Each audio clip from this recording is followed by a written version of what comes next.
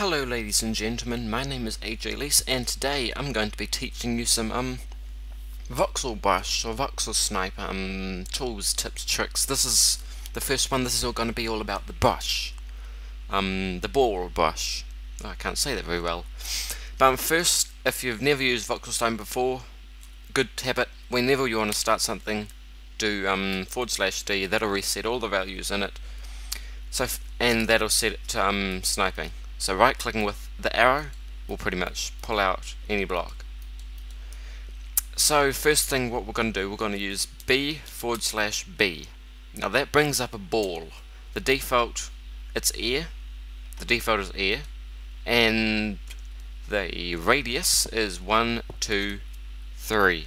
So B equals 3 is what it currently is set at. To change the radius, just change the number. So if we want a bigger circle, a smaller circle, b equals 2.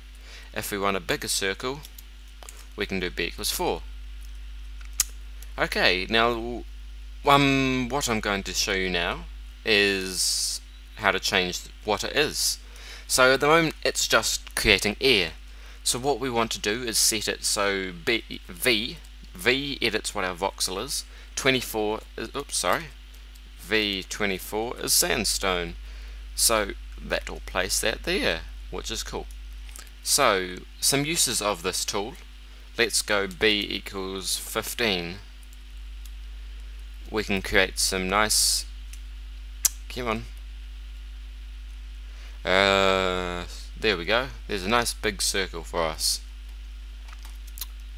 Um, now let, what can we do now? Let's change our brush back to some air. Let's change back to air, air is 0. V equals, what are we going to make it? Um, I don't know, let's make it, oh let's make it air again. I'm sorry, B, let's make this 2. And let's come in from here. And I can make myself a nice little pathway through this block. There you go, we're already creating a puzzle map. See? And out the other side we go. Now one thing that um, I really recommend you learning about is the voxel replace ability. And what this is, um, it pretty much means that whatever you do, it only replaces one specific block type.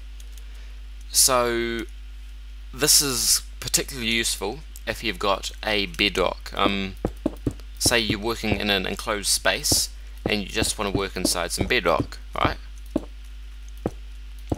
Like this, make a nice little bedrock chamber.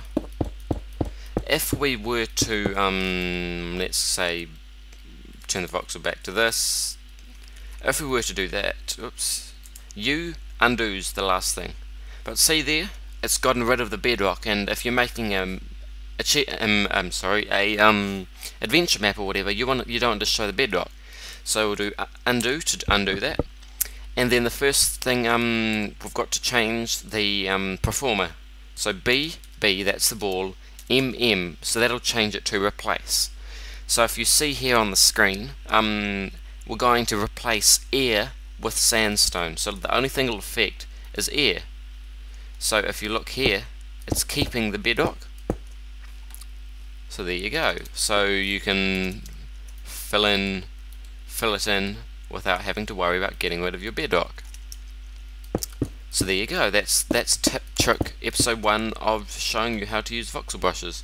One other quick tip: um, if you want to undo things, you is all the undo. If you want to undo the last three things, undo two.